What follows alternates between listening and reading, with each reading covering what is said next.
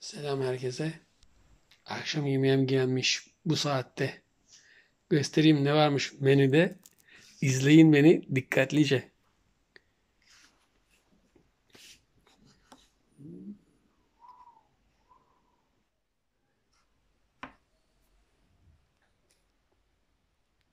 Çok şanslıyım.